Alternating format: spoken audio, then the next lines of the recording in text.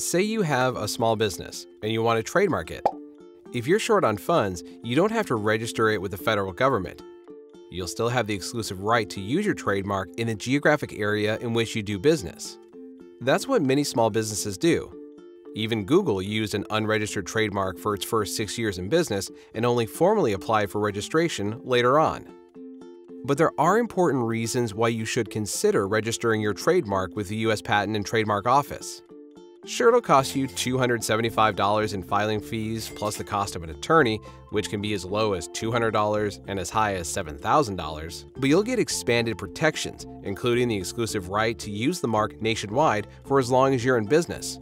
And registering your trademark might one day save the business itself.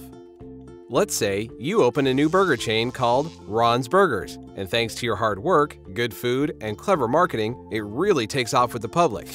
So you decide to expand the chain throughout the city, but that takes capital, lots of it. So you recruit partners to fund the expansion. Even if you start off as friends, as the money comes rolling in, you and your partners may have a falling out. This sort of thing happens all the time in small businesses.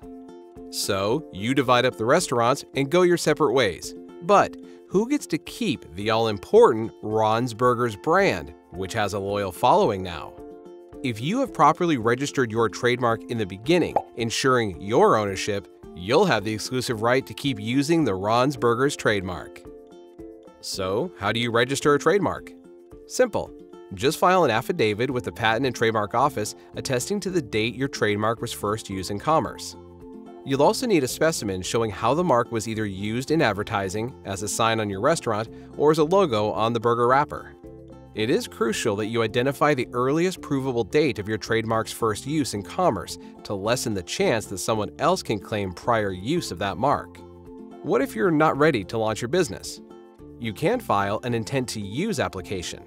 This allows you to apply for a trademark so long as you have a business plan or some other evidence that your business is more than a mere idea. You then have six months to start commercial activity or you risk having to pay extension fees or losing the mark entirely. Trademarks are like gold. Once registered, you can assign it to others in the event you ever sell your business or you can use it as collateral for a loan. In fact, lots of businesses do exactly that. They use their trademarks as collateral to secure loans on more favorable terms. A decade ago, Ford used its trademarks as collateral for a $23.5 billion loan. Ford was still able to use its trademarks, but if the company had defaulted on the loan, its trademarks would have gone to the bank. Registering your trademark not only protects and promotes your business, it can also help fund the expansion of your business.